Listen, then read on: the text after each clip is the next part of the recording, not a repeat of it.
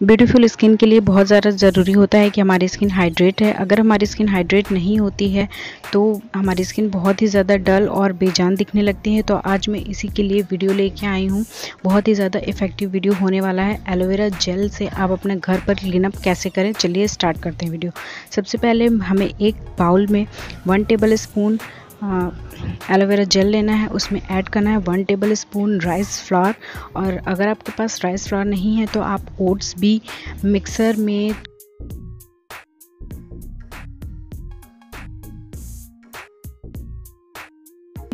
Powder आप उसमें add कर सकते हैं और इसे मिक्स करके अपने फेस पे अच्छे से अप्लाई कर लीजिए और दो से पाँच मिनट तक मसाज करने के बाद इसे रब करते हुए फेस अपना वॉश कर लीजिए।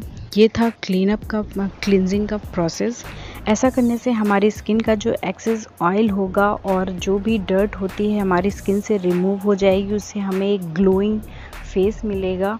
और बारिश के मौसम में अक्सर हमारी स्किन बहुत ही ज़्यादा ऑयली लगने लगती है, चिपचिपी लगने लगती है तो इससे वो ऑयल भी रिमूव हो जाएगा।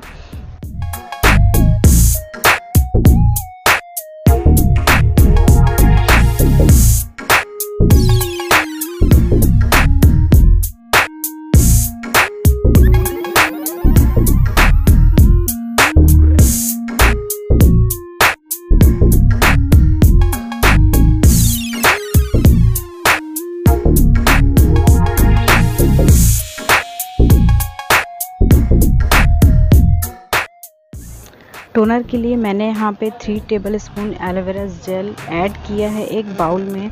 और अब मैं इसमें ऐड करूँगी rose water two tablespoon rose water हमारे स्किन को ग्लोइंग बनाता है और बिल्कुल नेचुरल इफ़ेक्ट रहता है और बहुत ही कूलिंग मिलती है। और अब मैं इसमें ऐड करूँगी हाफ़ ऑफ़ लेमन लेमन में विटामिन सी होता है, जो हमारी स्किन को ग्लोइंग बनाता है, और जो भी डर्ट होती है, वो हमारी स्किन से क्लीन करता है, हमारे पोर्स को श्रिंक करने का काम करता है, और इसे अच्छे से मिक्स करके मैं इसे ट्रांसफ़र कर लूँगी एक स्प्रे बॉटल में।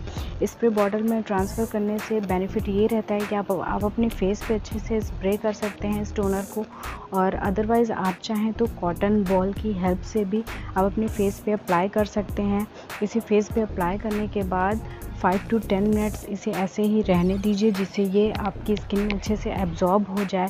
टोनर का सबसे ज़्यादा बेनिफिट ये होता है कि अगर आपको ओपन पोर्स की प्रॉब्लम है तो इससे वो प्रॉब्लम रिमूव हो जाती है।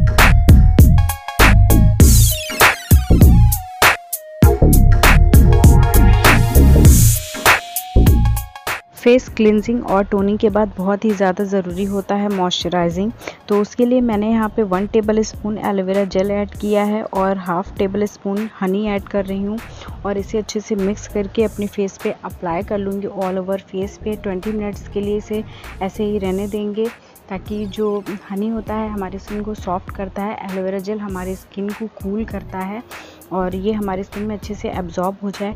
आफ्टर ट्वेंटी मिनट्स आप इसे जो है वॉश कर सकते हैं।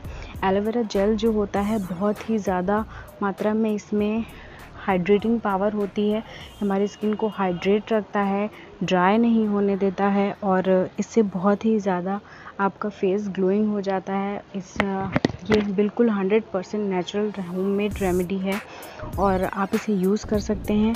अगर आपको मेरा वीडियो पसंद आया तो मेरे वीडियो को लाइक करिए और मेरे चैनल पर न्यू है तो सब्सक्राइब ज़रूर